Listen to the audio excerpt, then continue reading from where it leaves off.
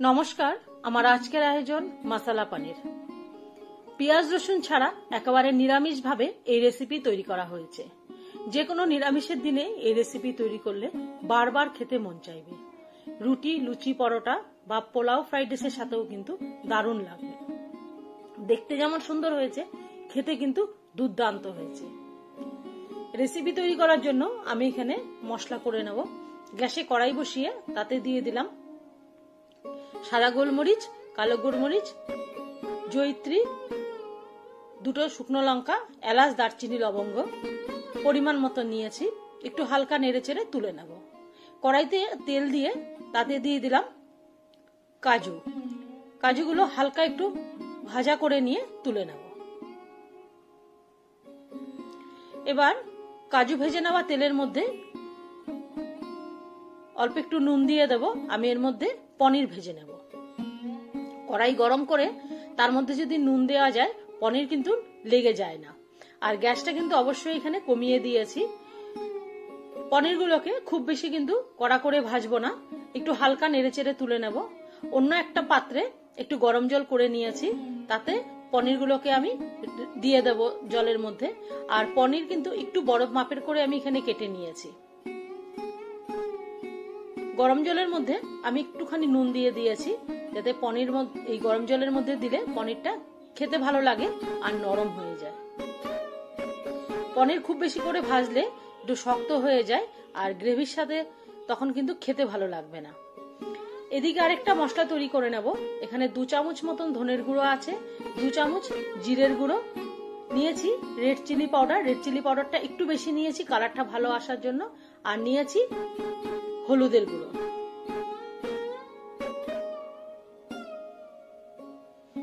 একটা বাটির মধ্যে সব মশলাগুলোকে নিয়ে অল্প একটু জল দিয়ে একটা পেস্ট তৈরি করে রেখে দেব।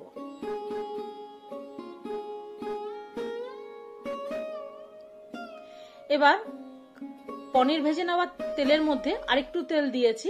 দিয়ে দিলাম হাফ চামচ গোটা জিরে আর হাফ চামচ মৌরি। মৌরির ফ্লেভারটা কিন্তু এখানে অসাধারণ লাগে। আর দিয়ে দেব কুচনো আদা আর স্বাদ অনুযায়ী কুচনো কাঁচা লঙ্কা। কুচনো আদা আর কাঁচা লঙ্কার আর তার মৌরির ফ্লেভারটা কিন্তু অনেক ভালো লাগবে। এবার হালকা করে একটু নেড়ে চেড়ে নেব।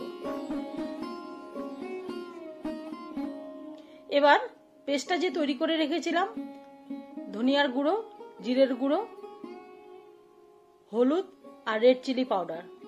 খুব সুন্দর করে তেলের সাথে কিন্তু নাড়াচাড়া করে নেব। আর এর মধ্যে অল্প একটু দিয়ে দেব মিষ্টি।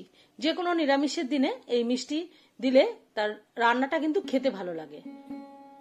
মশলাটাকে খুব সুন্দর করে কষিয়ে নিলাম।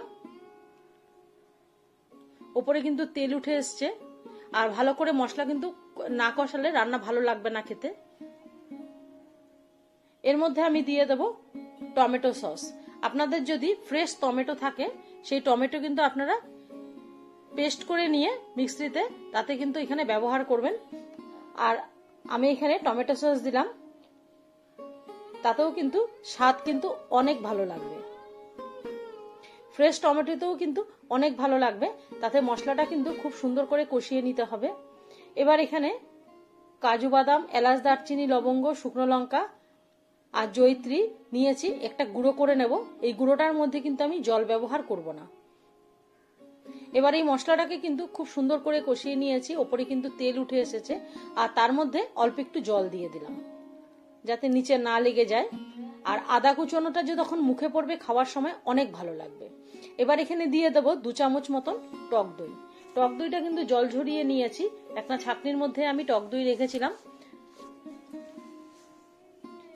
এবার গ্যাস একেবারে কমিয়ে দিয়ে মশলার সাথে টক দইটা খুব সুন্দর করে মিলিয়ে নিচ্ছি।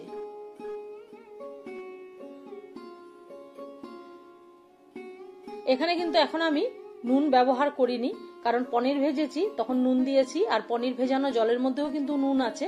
শেষে দেখে নিয়ে দেব। কালারটা কিন্তু অনেক ভালো এসছে এখানে। আর এই যে গুঁড়ো করে নিয়েছি আমি, এই গুঁড়োটা এবার দিয়ে দেব মশলার মধ্যে। দেখুন, গুঁড়োটা কিন্তু আমি একেবারে পেস্ট করিনি একেবারে মিহি গুঁড়ো কিন্তু করিনি, একটু দানা দানা আছে। আপনাদের রিকোয়েস্ট করব, আপনারা কিন্তু অবশ্যই এই কাজু বাদামের এই গুঁড়োটা কিন্তু আপনারা ব্যবহার করবেন, তাতে কিন্তু এর স্বাদ কিন্তু অনেকটাই ভালো লাগবে। এবার ঢাকা দিয়ে দিয়ে আমি খুব সুন্দর করে মশলাটাকে কষিয়ে নিচ্ছি। দেখুন কত সুন্দর এখানে মশলাটা হয়েছে। দেখতে কিন্তু অসাধারণ হয়েছে। আর একটু রেড চিলি পাউডার বেশি দেওয়াতে তার কালারটা কিন্তু দুর্দান্ত হয়েছে। আর কাজু বাদাম দিয়েছি, তাতে নিচে লেগে যাওয়ার ভয় থাকে, একটু নাড়াচাড়া করে নেবেন। এর মধ্যে দিয়ে দিলাম কসুরি মেথি। এবারও খুব সুন্দর করে নাড়াচাড়া দিয়ে ঢাকা দিয়ে দিয়ে কিন্তু মশলাটাকে কষিয়ে নিচ্ছি। দেখুন, অসাধারণ কিন্তু লোভনীয় হয়েছে। ওপরে তেল উঠে এসেছে। এবার আমি এখানে দিয়ে দেবো ভেজে নেওয়া পনিরগুলো। জলে ভিজিয়ে নেওয়া পনিরগুলো। পনিরগুলোর মধ্যে মিলিয়ে দেব, আর গ্রেভির জন্য আমি যে জলটা ব্যবহার করেছি, পনির যে দিয়েছিলাম, রেখে দিয়েছিলাম যে জলের মধ্যে, গরম জলে, সেই জলটাও আমি এখানে দিয়ে দেবো। রুটি, লুচি, পরোটা খাওয়ার জন্য যেটুক পরিমাণে গ্রেভির প্রয়োজন হবে, সেটুক পরিমাণে কিন্তু আন্দাজ মতন করে আমি এখানে গ্রেভি রাখব। খুব বেশি একেবারে শুকিয়েও ফেলব না, আবার একেবারে যে পাতলা রাখব সেটাও কিন্তু না। ফ্রাইড রাইস পোলাওয়ের সাথে খাওয়ার জন্য যেটুক পরিমাণে প্রয়োজন লাগবে সেটুক আমি এখানে দেব। আর এবার আমি এখানে নুন দিয়ে দিলাম। নুন দিয়ে খুব সুন্দর করে মিলিয়ে নেব। মিলিয়ে নিয়ে গ্যাসটা কিন্তু অবশ্যই এখানে কিন্তু মিডিয়াম আঁচ করে থাকবে। আপনাদের রিকোয়েস্ট করব যে কাজু বাদাম, এলাচ দারচিনি লবঙ্গ,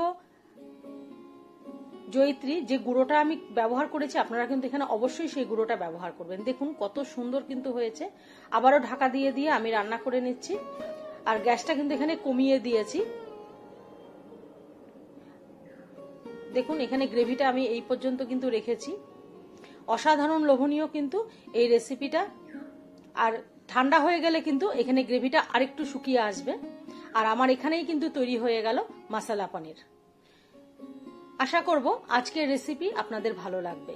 যদি আমার রেসিপিগুলো আপনাদের ভালো লেগে থাকে, আপনারা অবশ্যই বাড়িতে তৈরি করবেন। ভালো লাগলে লাইক করবেন শেয়ার করবেন কমেন্ট করবেন, আর আমার চ্যানেলটিকে সাবস্ক্রাইব করবেন। এতক্ষণ আমার সাথে থাকার জন্য অসংখ্য ধন্যবাদ। ভালো থাকবেন, সুস্থ থাকবেন। নমস্কার।